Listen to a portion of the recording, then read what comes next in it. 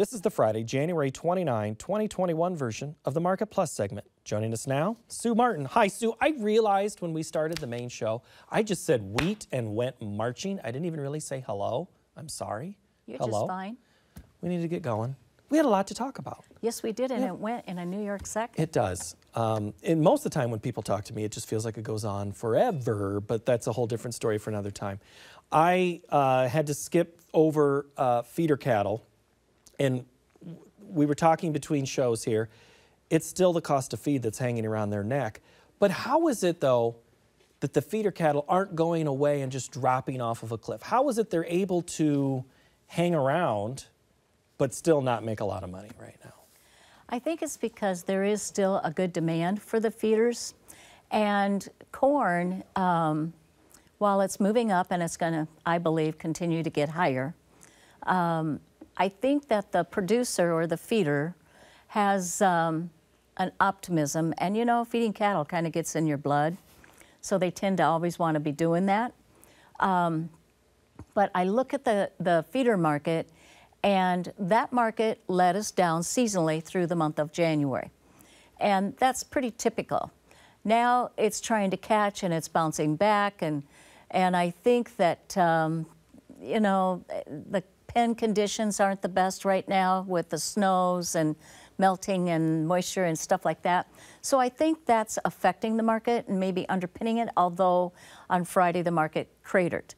Um, I think that when we look at feeder cattle, the 130 mark to 133 uh, is pretty good support.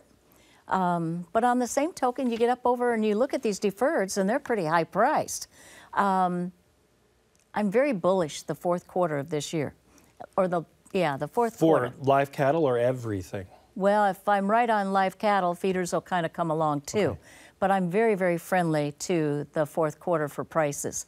And I think that um, uh, these breaks in here are going to offer producers maybe some opportunity to protect themselves. Okay, so Aaron in Ocheyedan, Iowa is asking us via Twitter. He says on Thursday, February live cattle dropped almost $7 below April, an all-time record. What's going to happen to that spread by first notice? Can cash pull itself from the muck? We haven't really even broken into the whole how these spreads are so far. Well, I think that the February, um, I think the cash market's going to try to firm here and come back stronger.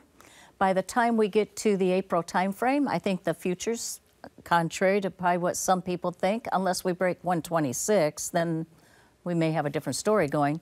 But I think the futures are going to try to come down to 120 and maybe go far enough that they'll align down towards 117 with the cash market.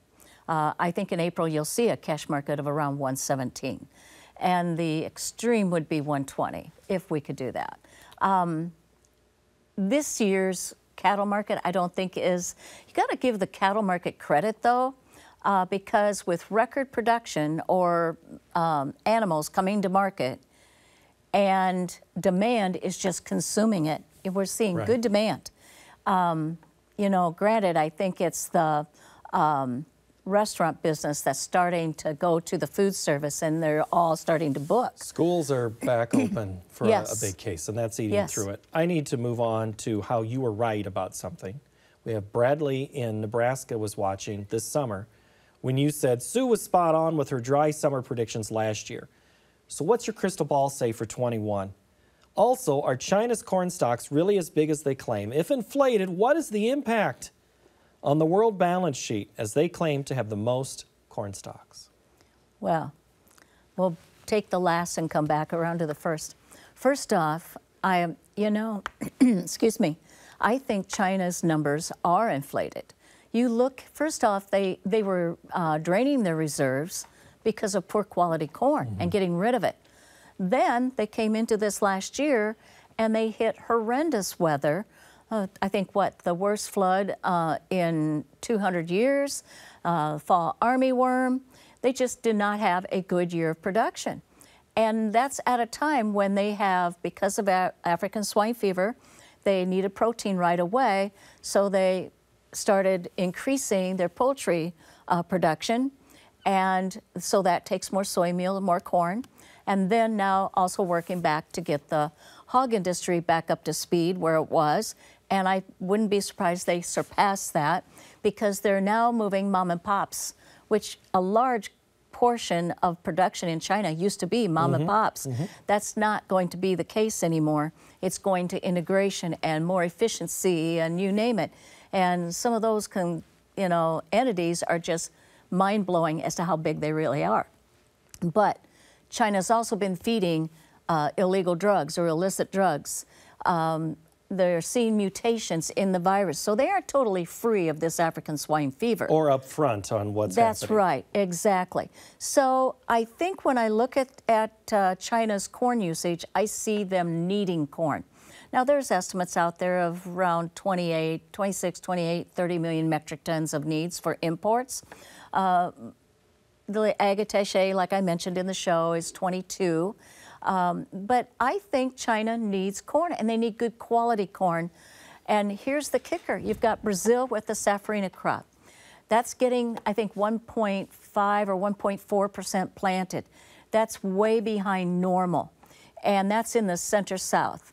Um, I think that when you look at the safrinha crop, first off, a lot of times that is the crop that gets exported. But in this entity, they are a situation, they, you know, Brazil's looking at more beef production, pork production. They're going to need more feed corn. And also, they always relied on uh, sugarcane to fulfill the ethanol industry. But sugar prices are high. And so, consequently, that sugarcane's probably going to find its way into the export market, which means they're going to have to draw on the second crop of corn. Are we going to be dry here? Do you see weather as an issue in the United States in I don't see it quite as bad as last year. What I see and what I'm catching from the services I take, and I take one out of Brazil and then I have several in the US, um, that what I see happening is we're evolving into a very dry situation. Uh, last year we were dry. This year will kind of ebb and flow. And I, by the way, am very negative for the last half of this year on grain prices. Okay. So, but as we get into 2022, I think there's where the drought kicks in. And we really have a tough year next year that leads us to God only knows how high prices will go in 2023. I'm very bullish 2023. I've mentioned before the great grain robbery. And yes, you know, with internet, everybody knows with information.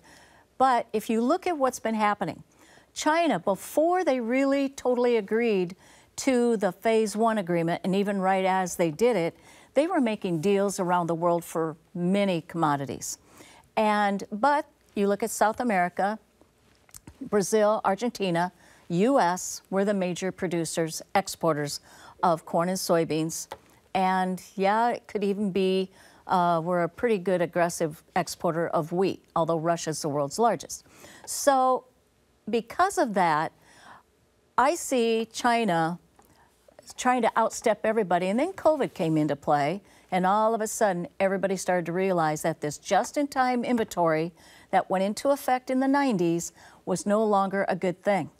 And you've seen protests around the world. It just hasn't been in the US, it's been many places around the world.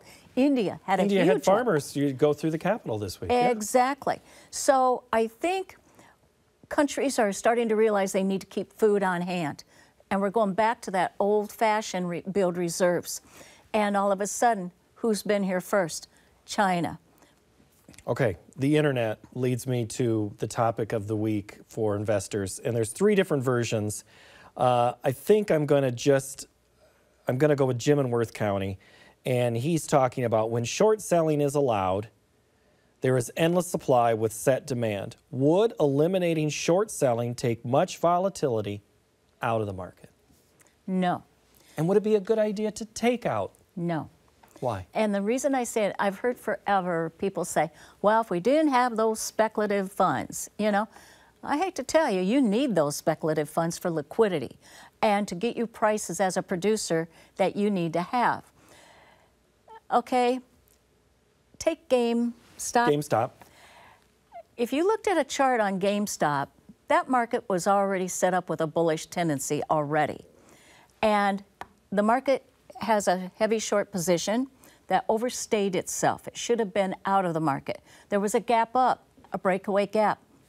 Before any of this happened. Then it started to move and break out of trend lines. It had already was giving tips that they were in a bad position and should have been getting out. So I think this would have happened regardless. Could it happen in commodities, though? Oh, it does. To You- that extent? maybe not quite that extent, but um, it does happen in commodities because, and here's the thing in GameStop, do we have a commitment of traders report on it? You know, we have that on commodities. Commodities.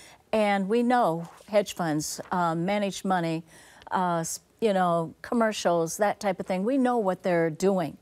Um, I think it's we need them to add liquidity, but um, bottom line is the fundamentals will come back to play. My the way I approach markets and always have, I'm very technically oriented. I love timing, but I use those to get the, try to catch turns or you know of trends in the market, and then I try to use the fundamentals to drive it. And I think that's for me that's worked fairly well. Worked for a long time. I'm going to ask you a couple yes or no questions. Tim and I want to know can we get 450 or better cash prices for this fall, or will it disappear? No, I think you'll get 450. I, sh- I said that wrong. I should say yes, you will. I Yep. think I think futures could go to five dollars on Okay. new crop. So Wes in Iowa then asks, will fall corn and soybean prices top what we have now? No. Okay. All right. And I have one last thing. Um, if I have 40 acres, can't decide if I'm going corn or soybeans, I haven't done anything to the soil, it's ready to go. Would you be planting corn or soybeans this spring? Corn. That will do it for this product that we call Market Plus. And next week, we're going to look at an innovative data gathering project that helps pinpoint increased insect pressure and plant disease outbreaks. And Mark Gold will be here to break down the commodity markets. I'm Paul Yeager. Thank you so very much for watching, listening, or reading.